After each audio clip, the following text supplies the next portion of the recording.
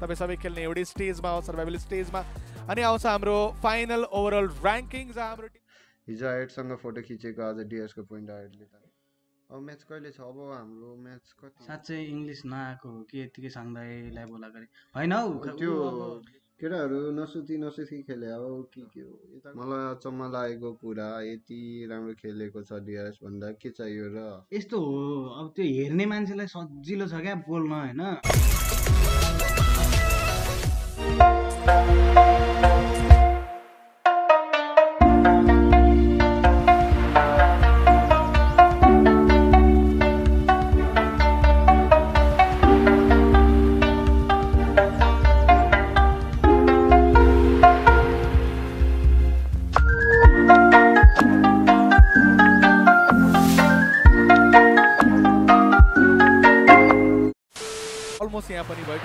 कि top three आइसकेको थियो हिजोको दिन हेर्दासम्ममा अथवा डी टू हेर्दासम्ममा बट ठिकै छ राम्रो एफर्ट रहेको थियो नेभरदलेस टप फाइभ भएको भए हामी गोजी भने त्यो फर्स्ट पेज फिनिस गर्यो अनि ग्लोबलमा सबैभन्दा बेस्ट ऱ्याङ्किङ लबीमा निकालेर देखायो यो बेन्च मार्क बन्यो अहिलेको लागि टप सिक्स हाम्रो अब स्काइलाइट अनि त्यसपछि टिटिकेले चाहिँ टप सिक्स बिट गर्ने कोसिस पक्कै पनि गर्नुपर्ने हुन्छ हुन त सिक्स आउनुहुन्छ या इलेभेन आउनुहुन्छ फोर आउनुहुन्छ फरक पर्दैन तपाईँ सबै खेल्ने एउटै स्टेजमा हो सर्भाइभल स्टेजमा अनि आउँछ हाम्रो फाइनल ओभरअल जहाँ हाम्रो टिम सिक्स भएको छ ट्वेन्टी थाउजन्ड डलर यहाँबाट आफ्नो नाममा गर्छ सिक्स पोजिसनको ट्वेन्टी थाउजन्ड डलर हुन्थ्यो प्राइज पुल अनि जो टिम दस हज़ार डलर सायद एटेन्डेन्स फ़ी पनि सो डिआरएसले सिक्स ऱ्याङ्क निकालेर लगभग लगभग चालिस लाख रुपियाँ चाहिँ चार दिनको गेम प्लेबाट कमाएको छ आइएटले एकदमै इम्प्रेस गर्यो हुन त उनीहरूको र प्राइस पुलमा डिफ्रेन्स हेर्यो भने एक हजार दुई हजारको मात्रै हो not major one but congratulation Buriram United Influence Cayman अनि एस्ट्रोजीलाई हामी भेट्नेछौँ उनीहरूलाई अब सिधै ग्रान्ड फाइनलमा भन्ने तरिकाले पनि बक्स गेमिङ खेलिराखेका थिए एन्ड निकै नै राम्रो गेम बक्स गेमिङको तर्फबाट क्वालिफाई टिम हजुरको स्क्रिनमा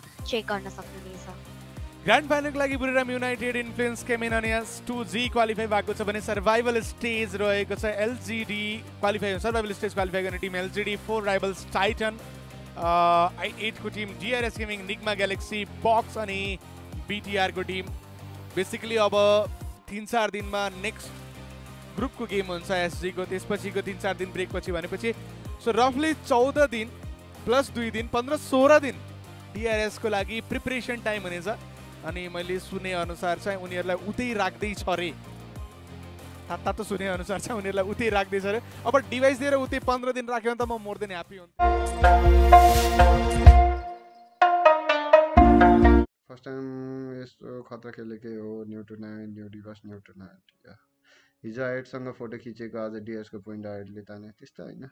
Why you're camping in last match वाइटीको त ऊ के अरे सिधै गेम क्रास भएर एप्लिकेसन बाहिर पुगेको थियो। अनि फोटो खिच्दै थियो अनि धेरैको प्रब्लम आएको थियो। नुजी ऊ के अरे नुजी होइन? नुजीको प्रब्लम आएको थियो। सबको त्यो के अरे डाइरेक्ट एप्लिकेसनै ऊ भइदिएर क्या अफ भइदिएर लास्ट गेम चाहिँ। Next no experience but top six पुग्नु त अति बबल कुरा अनि धेरै राम्रो सटै सर थ्याङ्क यू बधाई छ रुल्स हाम्रो दामी अझै यस्तै सिक्ने कोसिस गर्नु। हुन्छ स्योर बिलिभ इन डिआरएस यस दाइ मलेसियामै बस्ने कि फाइनलसम्म नेपाल आउने मलेसियामा बस्दिन्छ होला मेबी कसम पागल हुन्छ हो यहाँ बस्दा। अब म्याच कहिले छ? अब हाम्रो म्याच कति? डिसेम्बरको फर्स्ट मेबी फर्स्टदेखि सुरु होला फर्स्ट कहिले हुन्छ। डियर्स थ्रो मेनी गेम्स यस त्यो त यसो गर्छ। नेपाल कहिले अब? नेपाल खै कन्फर्म छैन। भोलि नै आउन सकिन्छ न कहिले आउँछ अब हेरौँ। केटा सेन्टर होल्ड गर्न गाह्रो भएको हो कि के हो? केटा जोन पर्दा झन् बिग्रियो देखियो एनिवे सबै ठिक छ। जोन चाहिँ सेन्टर हामी नखेले नखेलेको भएर होला गाह्रो भएको थियो।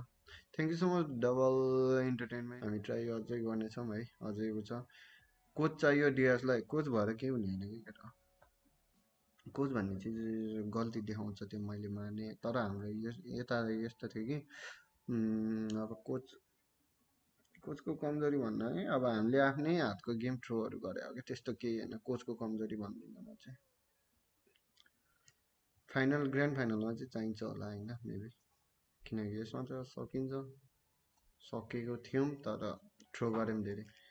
अल ओभर गेम ठिकै थियो ग्लोबल लबी थ्याङ्क यू अब सर्भाइभलमा क्वालिफाई हुनुपर्छ हुन्छ स्योर नो प्रब्लम नेपालको सानो जे भने really appreciate by you bro thank you last चान्समा क्वालिफाई हुनुपर्छ है ब्रो हुन्छ त्यो ट्राई गर्नेछौँ है हामी बेस्ट दिन्छौँ।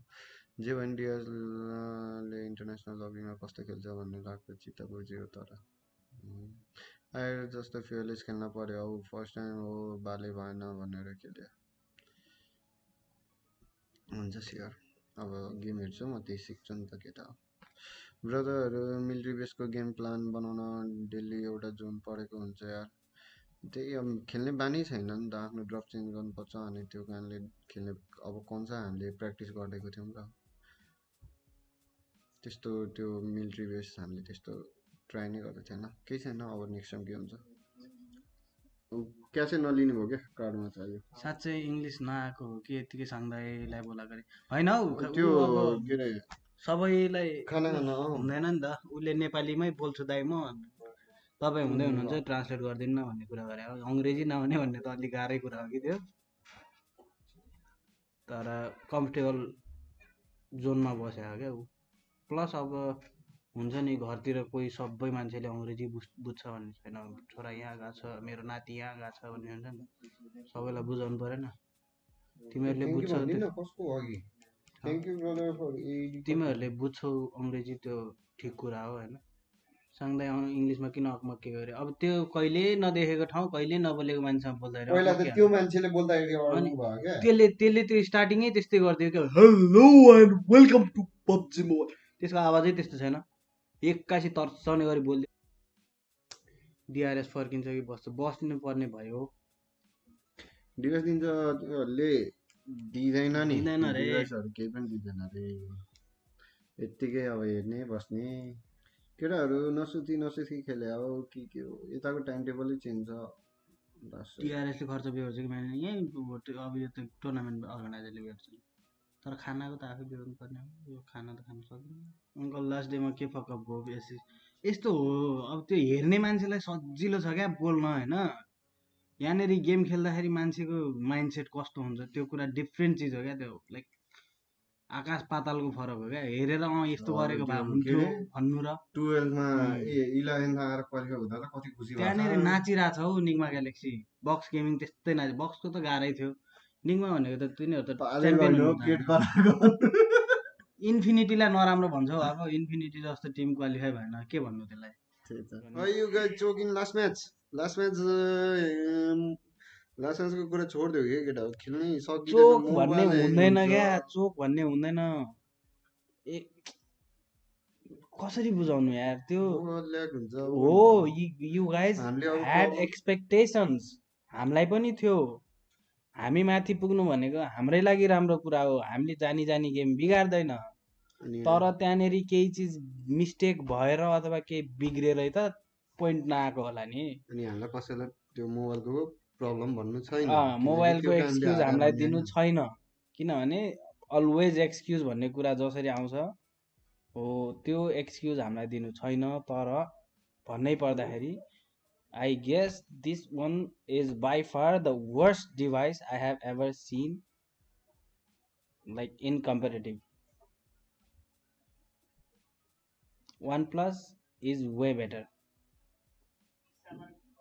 यत्रो छ हौ फोन त्यो विथ लेन्थ यति लामो छ। विदाउट कभर पनि खेल्नुपर्छ अनि कभर लाउन पाउँदैन।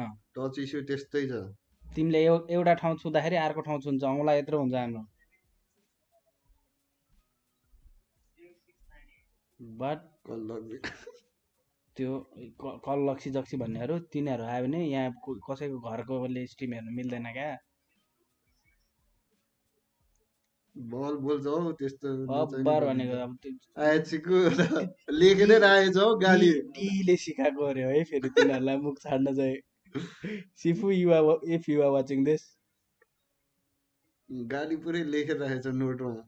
कुन फोन हो र so Sony Xperia one mark four. Xperia one mark four. टिटिएसमा भेट हुन्छ त हुन्छ अफकोर्स। ए है रे अन्टप अन्टापे माया सोझो भन्छ पाक। सब यहाँ थाहा पाइसक्यो। एससीको गेम हेर्न भेन्यु जान पाइन्छ पाइँदैन नि। कहाँ पाइँदैन? म यहीँ बसेर वाच पार्टी हाल्छु होला मेरो bro keep grinding don't be हुन्छ। अब डिभाइसै पाउँदैन हामीले। यहाँ अब तिम्रो सर्भर स्टेजको गेमभन्दा चार दिन अगाडि पाउँछ। अहिले दिँदैन गेम मोबाइल त्यस्तो छ। मलाई अचम्म लागेको कुरा यति राम्रो खेलेको छ डिआरएस भन्दा के चाहियो र? केटा हो बिग के गर्नु मान्छेको धेरै अब ठुलो आश भएको धेरै आश भएको कारणले हो। केही छैन। Dears love thank you